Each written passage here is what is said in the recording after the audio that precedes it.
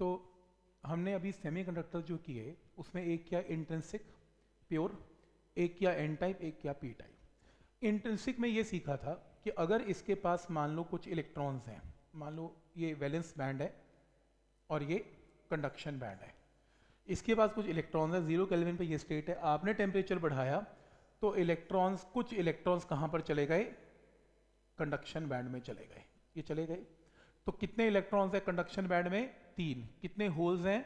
Valence band में तीन। तो तीन सीटें क्रिएट हो जाएँगी इसमें। तो इसका मतलब इंट्रेंसिक के अंदर number of electron density and hole density की अमाउंट एग्जैक्टली क्या होती है? सेम ये हमने कर लिया। अब बात करते हैं N type N type semiconductor में ये चार इलेक्ट्रॉन तो ऑलरेडी आपके पास है ही है। ये तो है ही है। अब बेसिकली क्या किया आपने?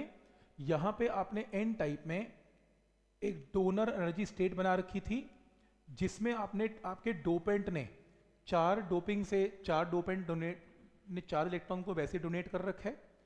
अब मान लो ये ज़ीरो केल्विन की सिचुएशन है। आपने टेम्परेचर बढ़ा दिया।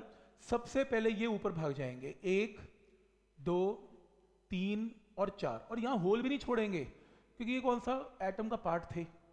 ये तो ऑलरेडी डोनेट करने की वजह से फ्री टू मूव है।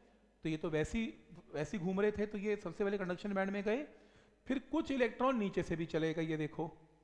कुछ इलेक्ट्रॉन यहाँ से भी चले गए। तो कुल मिला के कितने इलेक्ट्रॉन्स हो गए इसमें कंडक्शन बैंड में?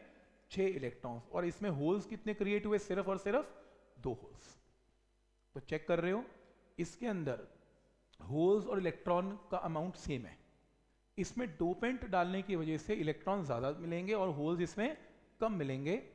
तो यानी कि इलेक्ट्रॉन डेंसिटी कंडक्शन बैंड की होल डेंसिटी से इसमें बड़ी है। इसमें बराबर है, इसमें इलेक्ट्रॉन डेंसिटी बड़ी है होल डेंसिटी छोटी है।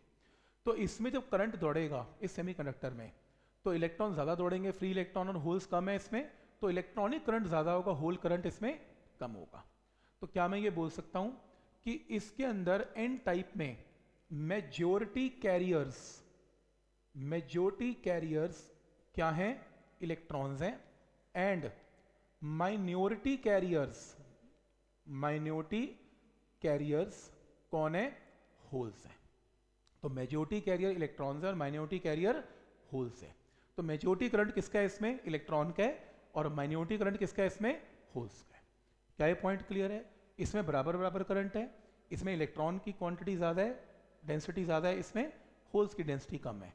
लेकिन अगर आप पी टाइप की बात करते हैं तो पी टाइप में ये चार इलेक्ट्रॉन तो ऑलरेडी प्रेजेंट ही हैं, बात ही खत्म हो गई। अब इसके अंदर यहाँ पर एक डोनर एनर्जी स्टेट भी है, जहाँ पर ऑलरेडी दो बेंच लगा रखे हैं मीन दो होल तो लगा ही रखे हैं हमने। दो पेंट ने क्रिएट कर दिए थे होल इसमें। तो दो होल तो दो पेंट क्रिएट कर गया ज़ीरो केल्विन पे। टेम्परेचर बढ़ गया। जब टेम्परेचर बढ़ा तो ये ये और ये इलेक्ट्रॉन ऊपर चढ़ गए। तो कितने इलेक्ट्रॉन हो गए? तीन इलेक्ट्रॉन हो गए। लेकिन अपनी जगह तीन होल क्रिएट कर गए कितने होल्स हो गए? पाँच होल्स हो गए। तो पी टाइप में होल डेंसिटी बड़ी है as compare to electron density तो क्या ये पॉइंट क्लियर है यहाँ तक? तो इसके अंदर क्या मैं लिख सकता हूँ कि मेजोरिटी कैरियर्स मेजोरिटी कैरियर्स कौन है? होल्स हैं। एंड माइनॉरिटी कैरियर्स कौन है इसमें? इलेक्ट्रॉन्स हैं। तो ये आपने याद रखना है, क्योंकि ये कॉमन वर्ड है, हम यूज़ करेंगे majority carrier and minority carriers